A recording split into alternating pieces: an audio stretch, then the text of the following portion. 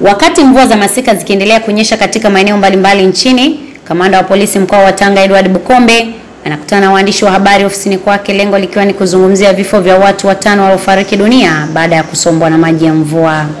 Watu wawili walikufa maji kutokana na mvua zinazoendelea kunyesha, lakini pia katika eh, tarehe kumi na tarehe kumi na moja katika wilaya ya Lushoto watu watatu nao wamekufa maji wakijaribu kuvuka mto ambao umejaa maji.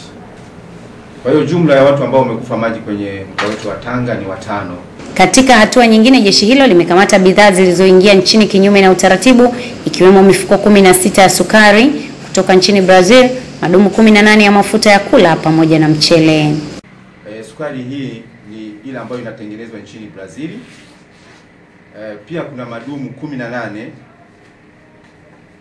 na mchele mifuko sita. Zipo sabuni pia pamoja na majora e, vipande kumi na moja.